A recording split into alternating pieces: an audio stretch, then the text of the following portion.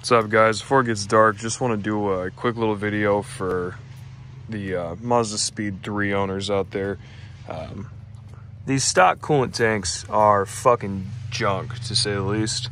Um, they crack all the time. This is my third one, and you can see cracks all along the front. You can see all the uh, epoxy everywhere as well. Uh, that's because this one, like I said, is my third one. This one broke um, and I couldn't get one in. Nobody had one in stock. None of the parts stores sell them. None of the wrecker yards had these cars. Nobody had a parts car I could find, nothing like that. So I went ahead and ordered this nice aluminum one from Graveyard Performance.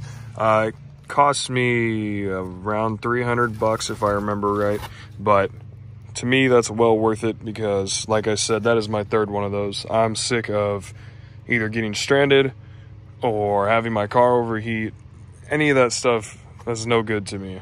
Uh, I mean, even when it comes to your paint, I need to wash this thing. It's kind of hard to see it at the angle it's at, but the uh, the whole fender is covered in residue from the coolant from when this one broke again before I epoxied it.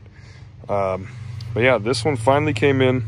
Like I said, all aluminum, and to me, worth the price just to know that I will never have that problem again.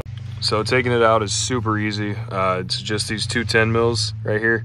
Uh, and then you have hose clamp here, hose clamp here. And then once you get the power steering reservoir out of the way, you'll see on the bottom, there's a third cooling hose uh, that has hose clamp on it. Just take that off and then this thing will come right out. So like I said, it comes out super easy. Um, there's still coolant in here, so I'm gonna try not to spill it everywhere. Um, but yeah, when I'm talking about these things just crack like crazy. See, there's one, and you can see all the epoxy, and underneath all that epoxy, you can see all the cracks that were either starting or that were already there. Um, and I mean, like I said, it's just unfortunately a common thing with these. You can see it's cracked along the bottom there. If I flip it, you can see the other side as well. Was all cracking under it. And like I said, it's not uncommon. Here's the uh, one from my other speed, which I had in that car originally. And you can see this one split right next to each other twice uh, up the whole entire thing. And then it was starting to crack in other places as well and just do the same thing. But like I said, it's kind of unavoidable with the, the cheap plastic that these are made with, especially after uh, all the years of operation on these cars. I mean, this one is a 2008 and then my other one's a 2007. So either way, I mean, you're talking 12 years plus of this plastic just heating up and cooling down, heating up, cooling down, and then having coolant go through it as well and just tearing it up over time. But yeah, so here's the new one. Uh, it's going to reuse the stock cap up top.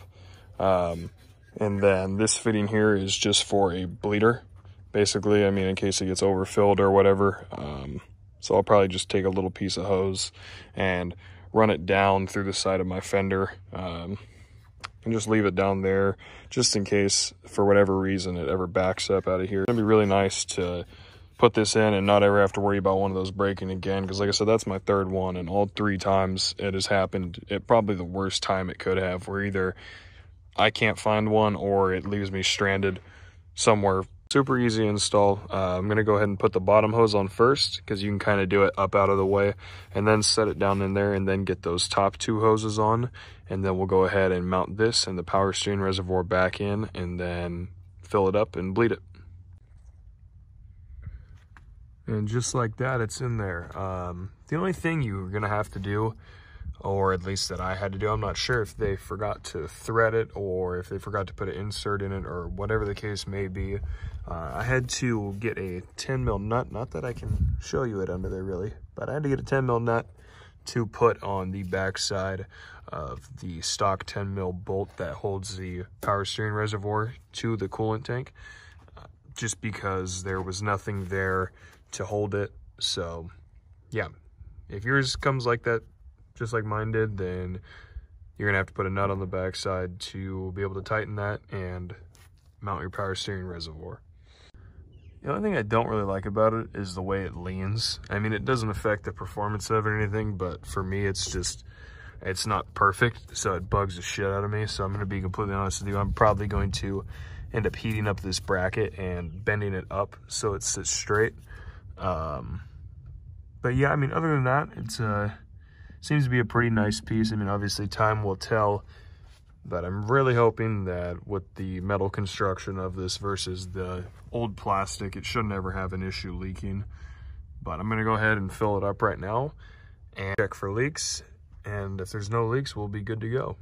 So there it is. Uh, I did end up bending this tab up right here, not only for my OCD, but also because the way it was leaning before, it was sitting on the top of the motor mount and was vibrating around and I didn't want that to end up causing a crack. So I heated it up and bent it so it's straight. But yeah, that's uh, pretty much it. Like I said, really simple install. Two bolts, three hoses, and uh, fill it and bleed it and you're good to go.